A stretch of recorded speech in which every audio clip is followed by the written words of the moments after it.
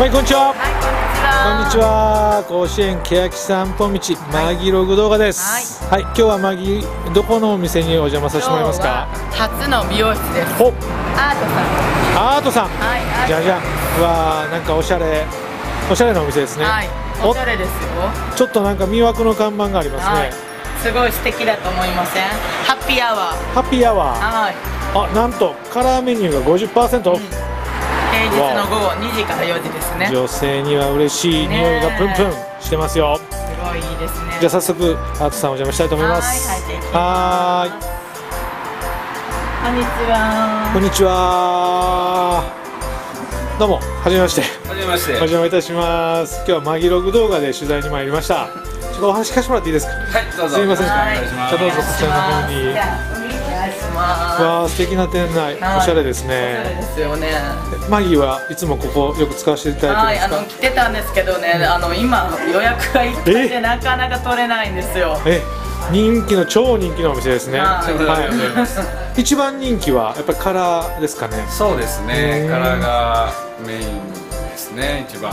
あの、はい表になんかすごくこう女性にとっては魅惑の看板がありましたけどハッピーアワハッピーアワー。ーはいちょっと説明していただいていいですか？はい、えーまあ幸せな時間ということですけど、うんあのまあ皆さん、えー毛染めに対していつもね綺麗にいてほしいという、うちのメンテナンスからも込めて、はいえーその2時間の受付だけは、えー半額でさせてもらってます。はい。なるほど。あのこういったね美容室でしっかりカラーをきれいにしてもらうのもあるけどうちのかみさんなんかあのたまにこうコンビニでね あのカラーヘア剤を買ってきてはい。一生懸命やってるのがあああいうのマギーもやったりするの？私ね、本当実は一度もああいうので、まあ不器用なこともありまして、家で染めたことはないんです。ん。なんかやっぱりすごく髪の毛傷むっていうのを聞いてたんで、う私は美容室で必ず。でも基本はあんまり染めないようにはしてます。傷むっていうのを聞いてて。実際やっぱり傷むんですかね？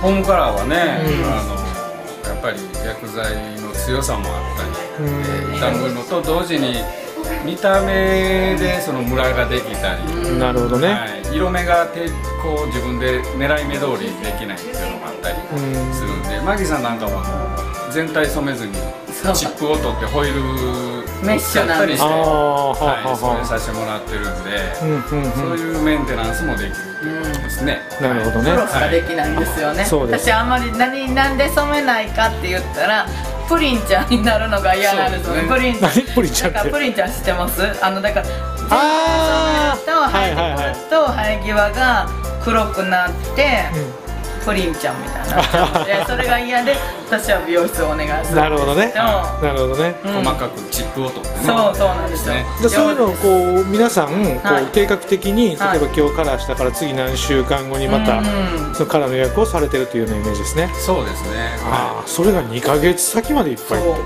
すごいね。うちの会員さんもすごくここ怒られてましてあの、ねもうねびっちり予約取って。マギさんつながりの。いやもう。本当に本当にもう本当にみんなきっちりね皆さんお美しくしてるんですけど、へー。もうそろそろ今パーマ当てたいと思って もうやりたくてしょうがないんですけど。いいですね。じゃあ今もし仮にマギーが予約を入れるとするならば、残念ながら3ヶ月後と。ハッピーアワーじゃなかったら取れますか？ハッピーアワーじゃなかったら大丈夫です。大丈夫です。えっと狙い目はどの曜日のどの時間帯でしょうか、えー案外ね、土曜日曜とかは、えーゆっくりしてる時もありますね。はい。平日は結構混み合ってますね。はい。ハッピーアワーってねお財布にも優しいしそうですね。どうしても僕が女性やったらやっぱりそこ狙うね。狙いたいですね、えいやいや男性でも。男性ももちろん OK ですか？全然 OK です。ありがとうございます。マギーあのこう女性が綺麗でいる、それはあのよく聞くじゃないですか、はい。他の女の子たちからどう見られてるのか、うん。女性同士の目線が気になるっていう人と、やっぱり男性からね美しく見られたいって。まあこれ両極端に分かれると思うんですけど、はい。マギーはどっち派？まあ男性と言いたいところの意外とうちの主人無関心なんです。けどでもやっぱり女性から言われるのが嬉しいんじゃないですかね。そうですよね、うん、人前に出る仕事なんでやっぱり髪型変えると一番にうん。みんなが気づいてくれて「変えたんどうしたんどこで?」っていう会話があやっぱり嬉しいですよね。ーまあ男としては、うえーアートさんでうん。綺麗になった女性を見て、うん。あれ？髪の毛綺麗になった、うん。なんか最近輝いてるね。なんて言わなきゃいけないと。そう。勉強になりました。言ってください。はい。ありがとうございます。じゃあ今日はアートさんにお邪魔しました。ありがとうございました。どうもありがとうございました